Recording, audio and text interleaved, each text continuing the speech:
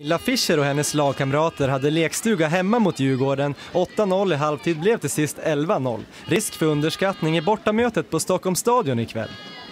Nej, det tycker jag inte. Vi har, vi har pratat om det liksom att eh, nu är det 99 minuter att vi, vi måste göra samma stenhårda jobb som vi har gjort de två senaste matcherna, eller tre senaste. Så att, eh, det, det känns bra, så att, eh, det är bara in och köra nu. Jessica Landström är tillbaka i Sverige, nu i Djurgården. Innan proffssessionen var hon just i Linköping. Senast mot Linköping var det torsk 0-11. Hur var den matchen att spela? Ja, den har vi redan spelat. Vi har en match nu som vi ska spela. Det, vi har full fokus på den här matchen. Det är klart att vi är revansch nu.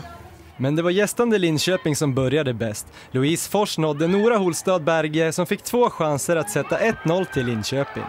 Många undrade nog om Djurgårdens ras skulle komma, men istället bet man ifrån. Matilda Rosqvist överlistade så när Sofia Lundgren.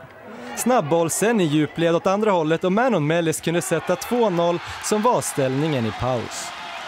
Eh, jag tycker det ser, eh, ser bra ut för oss. Jag tycker att vi, vi spelar bra varierad anfallsfotboll och eh, ligger, ligger bra defensivt också. Jag tycker våra mittfältare ligger riktigt bra i positionerna idag. Och Linköping trummade på även i andra halvlek. Emma Lund gjorde först 3-0 och sen här 4-0.